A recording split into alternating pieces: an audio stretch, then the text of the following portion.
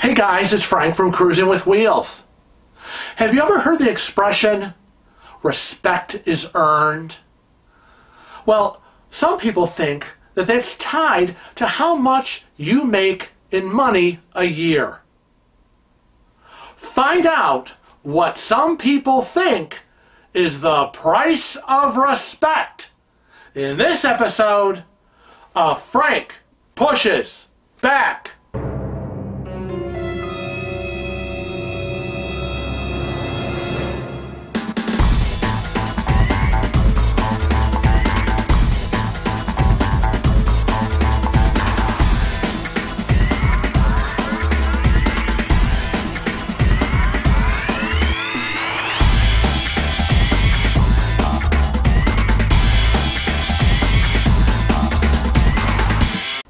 Now this video is fan inspired. Yep, this is from our uh, YouTube cruiser friend and fan, Stephanie Dayton. Hi, Steph. we had the pleasure of meeting Steph and her family, husband Tom and son Nate, on the NCL Bliss in 2018 on our cruise to Alaska. Yep, and Kevin was uh, able to do a cabin tour. They had a mini suite, number 8126. Check the link if you want to see it. Now, Steph sent us uh, an email um, with her thoughts about the crew. Uh, she had seen a video online uh, from a crew member um, who does YouTube videos, and uh, she thought it was a topic that was worth sharing with us. So let me read it to you. Hi, Kevin and Frank. I saw this YouTube video the other day and it really got me thinking. It's a guy named Riley. Now, Riley is an entertainment tech. He works for the theater, Royal Caribbean Ship, Quantum of the Seas. Uh, was out of Singapore at the time. We're talking October 2020.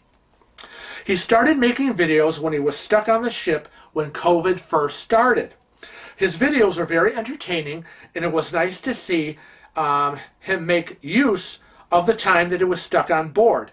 Now, he had the option to go home, but he and his girlfriend also worked on the ship, uh, decided to stay longer, thinking it would be over soon, uh, and they could get back to work. Obviously, we all know how this turned out. Badly. Yep, no, he has recently been back to work on the ship because uh, they're doing cruises to nowhere uh, out of Singapore. Uh, and restrictions for the cruise ship is based on Singapore rules, regulations, and law. Now, unfortunately, because of the restrictions, the crew can never leave the ship. He loves his job, but being stuck on board was really getting to him, and he decided not to renew his contract ever since I saw the last video, has really got me thinking. We are so eager to get back to cruising, but what about the crew members? Are they really going to be stuck on board without a break from the ship? I feel for them. Imagine being stuck at your job location 24 7 without a chance to get away. I posted something back a while uh, about his videos when it, he was first stuck on board, and it caused a bit of tension with some people, so I understand if you don't want to discuss it. But I think it's an important topic, and I, for one, would feel guilty taking a cruise knowing the crew members could never leave the ship. Thanks for all you do. I enjoy watching your videos and the live chats. You two are hysterical. Uh, your friend Stephanie Dayton. Well, first of all, Stephanie, love you back. Second, causing tension? Us avoid tension? Never! A topic uh, we don't want to talk about? Not gonna happen! but I agree with you, Steph. We right now are so consumed with getting back to cruising, you know, we will do anything. Yeah, we'll get the vaccine. Yeah, what do you want me to do? Stand on my head? What? Uh, Get the list ready. I want to get back on a ship on the on the ocean, please. Cruising. Start back now. But you know what? We cannot lose sight of the crew. Uh, they work so hard 24 7, 18 plus hours a day. I would hate to think um, that there would be so many restrictions on them uh, while they're trying to make every minute of our cruise, our vacation, the best it could be. Now we know that restrictions have eased up because you know that video was done back October 2020, if I remember correctly. Um, but things have eased up. But still, there's a lot of us who say, you know what? Why can't the uh, cruise line give crew members free Wi-Fi so they can constantly be in touch with their families? Now, you can imagine, you all know that this virus, this pandemic, devastated the crew industry. Yeah, we weren't able to go on vacation. But you know what? They all lost their jobs. The crew members were all sent back to their home countries. Now, they have these jobs because in most cases, they come from poor countries. Uh, and the money that they earn, they send back to support their families and a lot of extended families as well. So this isn't just, oh, gee, you know, uh, why don't they just file for unemployment? No, they lost their jobs. Okay? Um, and while we're at home going, when are the cruise ships going to allow us, you know, back on board so I can get those great drinks and the great food and hit those islands or go to Alaska or wherever we want to go? They need the jobs to survive, to feed their families. And I know you, you most of you know how hard they work all day long. Now, I know some people would say, That's the job they signed up for. Or, It's not my fault the cruise lines are so cheap they don't pay them well. Yeah, but where's your empathy? They miss their families. Can you imagine? Being away six months, nine months of a contract, away from your husband, your wife, your kids, missing important events like um, birthdays and anniversaries and weddings and, God forbid, funerals. That's tough, but they do it because it's a chance to better their lives for themselves and their families. And you all know, because um, uh, uh, most of you uh, watching this have experienced it. And those of you who have not cruised, you will get to see how every minute the crew member is Hi, Mr. Frank. Good morning, Mr. Frank. What can I get you, Mr. Frank? Or, Hi, Mr. Kevin. Good evening, Mr. Kevin. Uh, what can I get you? Anything you want, Mr. Kevin? a smile on their face 24 7, no matter what. And sometimes they are used and abused by horrible passengers. You know what I'm talking about. Just go and watch my Tales from the High Seas, and you will see uh, what some of the crew members experience in terms of abuse. And it's not right. And some people think that they're just servants uh, and literal slaves to them because they're on vacation and that's their job. Snap, snap, snap, snap. Well, that's just, you know, it's just not right.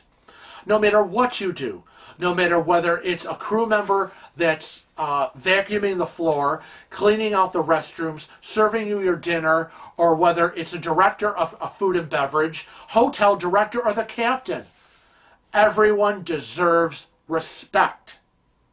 And that should not be based on someone who maybe doesn't earn as much money as you do.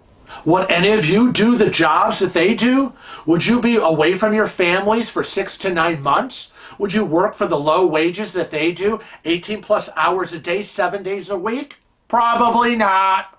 So, again, I ask the question where is the respect? Where's the humanity? Does your yearly income dictate the level of respect that you should receive? Because, you know, people might consider you a lowly peon, a nobody.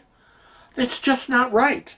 Um, it's not right at all. So think about it. Now, let me segue this issue into a non cruise area of discussion where people talk about, um, oh, they just flip burgers at McDonald's, you know, or they just, you know, stock shelves, or, you know, he's a maintenance guy. But it's also true of rich people. Yep, that's right. The same problem occurs with people who make a lot of money. Sports celebrities, Hollywood celebrities, people that are making the big bucks. Yeah, they don't always get the respect that they uh, deserve.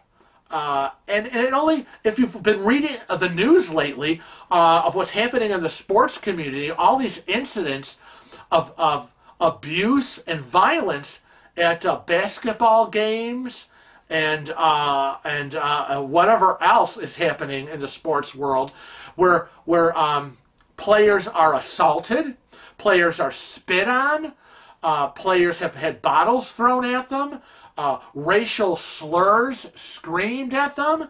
I mean, come on! I understand you know, where sports is concerned. I know people get all excited. You know, I understand. I'm not a sports guy, but you know, I get it. I see it. You you got a love hate relationship with your with your team and the players, and you get all excited. And you know, okay, there's probably alcohol involved, but come on, I cannot imagine myself going to any kind of sports event, and I have gone. I've been to a hockey game, people. I'm not some newbie. I can't imagine hurling racial slurs at a player, punching a player, throwing a water bottle at the head of a player. I mean, mama didn't raise me like that, okay? And, and, and it does come from upbringing. I mean, who does that? That is what we call wrong. But the comments I've read on social media regarding these issues is disturbing. Really. I mean, the attitude is because these are sports celebrities or whoever, um, and they make a lot of money, they don't deserve respect. The comments I've read are, they range from, Too bad, so sad. That's what they get paid for. That's what they signed up for. They're making tons of money. They're celebrities. They're rich. Or the final one, It's their job to entertain us. seriously? That how mama raised you? I don't think so. I don't think so at all. Where does that come from? So respect is somehow based on, I don't know, what? What now? What now? Um, based on uh, you get respect because you're rich? I don't know. That doesn't seem to be flying either. Uh, uh, you should get uh, respect because you know you're you're a lowly wage earner and you're working hard and yeah, and you should. But then the opposite of you're a peon, you're nobody, you get no respect. I'm not sure where we are with the money issue here. Uh, it's kind of crazy. Um, maybe because you get respect because you're famous, or maybe you get respect because you're a nobody, or you don't get respect. I am so confused where people are coming from. Respect because you're a man? Respect because you're a woman? Or because you're not a woman? Because you're not a man? I mean, I, I'm, I'm not sure what roads people are taking with this respect issue. I really, really don't. Is this how we treat people nowadays? Is this the criteria by which uh, we now function as a society? I, I, I, it baffles me. I don't get it. Why can't we just be as simple as respect for all? It's very simple. There you go. Respect for all. End of story. End of story. Done. Finished. Stick a fork in me. I'm done. So, when cruising starts again, and it will very shortly, let's all start with a fresh, new outlook when we get on board regarding the crew members, regarding our fellow passengers. We're on a ship, we're on vacation, we're having a good time. It doesn't matter who you are, what you are, where you're from, what job you do or don't do, or how much money you make. It doesn't matter. Respect is respect. And I just wanted to talk about that, and I want to thank Steph for reminding me to talk about that. Think about it. So, on behalf of Kevin and myself from Cruising with Wheels, I want to remind you to follow us on Facebook, Twitter, Instagram, and Snapchat. Also, don't just watch our videos on YouTube. Click that subscribe button. That's right. And also, click the little bell. You'll get automatic notifications when our videos go live. And when you get back on the high seas and you're on that ship, I want you to always think of what we say. Remember to always travel safe and cruise often.